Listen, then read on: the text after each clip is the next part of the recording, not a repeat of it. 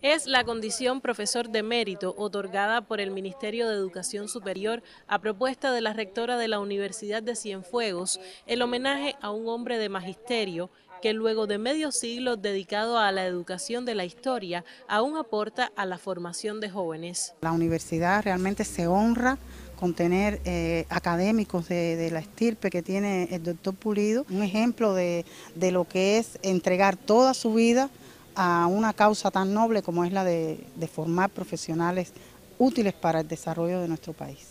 Falta todavía enseñar en el amor, en el amor eh, cotidiano, en el amor a la cultura, en el amor a la historia, al deporte, es decir, a todas las manifestaciones en sentido general y entender que el patriotismo lleva en sí una enseñanza científica. Eso aún falta todavía. Y es que el doctor en ciencias Miguel Pulido Cárdenas mantiene la ejemplaridad como pedagogo y con su labor diaria ha ganado el amor y cariño de colegas y generaciones de estudiantes. He estado ausente por problemas personales, enfermedad, pero he seguido presente en mis estudiantes, cada vez que defiende un grupo me pasan un mensaje, eh, sigo prestando mi servicio en la formación de máster, de la Universidad de Cienfuegos, teleclase desde la casa y en la formación doctoral.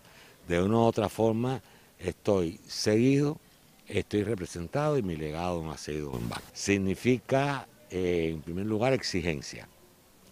Significa, en segundo lugar, cientificidad. Significa, en tercer lugar, veracidad. Significa, en cuarto lugar, no plagiar.